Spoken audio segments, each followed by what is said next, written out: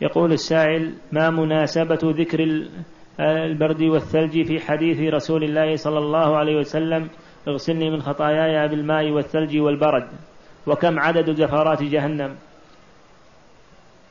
المناسبة والله أعلم في ذكر الثلج الماء والثلج والبرد تكرر المطهرات تكرر المطهرات لأنه إذا تكرر على الثوب الماء والثلج والبرد صار ذلك أنقى له وأذهب للأوساخ منه.